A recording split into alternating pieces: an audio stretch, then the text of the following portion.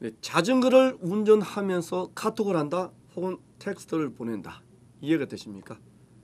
그런데 실제로 자전거를 타고 가면서 문자를 보내거나 확인하는 경우가 적지 않다고 합니다. 최근 들어 위험천만한 사고가 잇따르고 있습니다. 이사민 기자가 한인타운을 취재했습니다. LA 한인타운에서 배달업에 종사하는 40대 임모 씨. 임 씨는 자전거를 이용해 물건을 배달하고 있지만 위험천만할 때가 한두 번이 아니었습니다. 자전거 운전 중에도 스마트폰을 통해 배달 주문을 받아왔기 때문입니다.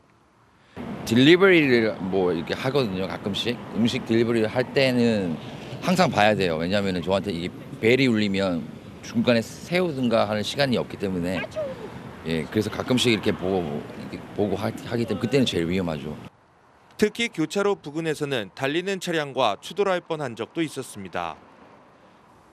스마트폰을 이용하느라 미처 주의를 살피지 않은 탓이었습니다. 그러니까 파란 불에 자전거가 그냥 보지도 않고 그냥 지나가다가 차가 예 사고를 치는 경우 자전거를 타며 스마트폰을 이용할 경우 현재 정해진 벌금은 160달러. The phone mounts are the most, uh, the safest way rather than carrying it and looking at it when you're, you're trying to ride. Keep it down there. If you're, the most recommended, if you want to listen to music while you're recreationally riding, get the speakers that can mount on your um, backpack or your camel pack. 벌금보다 더 큰 문제는 대형 사고로 이어질 수 있다는 점입니다. 자전거는 아, 자동차랑 똑같이 어, 취급이 됩니다. 그래서 자전거를 타고 가다가 아, 뭐 전화기를 쓰거나 뭐 텍스트를 하거나 그러면 똑같이 티켓을 받을 수 있고 LA 소방국도 최근 들어 자전거 운전 사고가 자주 일어나고 있어 항상 긴장하고 있습니다. Um, we have to have the same rules as you do. We have to make sure that we have situational awareness, always keeping an eye out, um, watching out for other cars and predicting what they may do.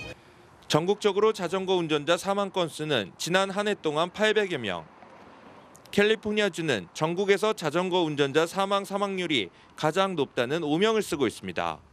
LA에서 SBS 이삼현입니다.